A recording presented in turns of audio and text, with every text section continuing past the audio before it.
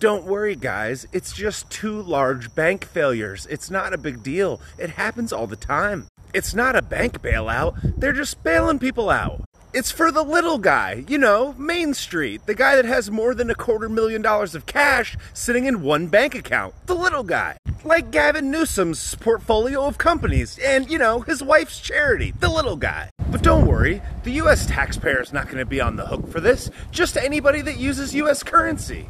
There's no moral hazard being set here, just if your bank is big enough and the people that have money at it donate to a certain political party. Don't worry, if the FDIC can't cover it, they'll just borrow it from the Treasury. And even though the entire country is dead broke, oopsies, they could just print it out of thin air. Not sure why they didn't just do that from the start, like it would cause inflation or something.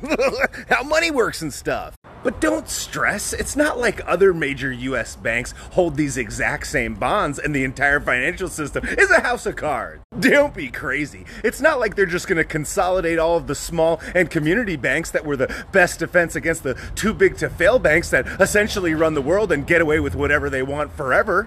It's not like they're going to use this to usher in central bank digital currency and social credit scores that will essentially keep all of the people of the entire world enslaved forever. And if this bank failure didn't affect you, don't worry. The value of the cash you have will be inflated away.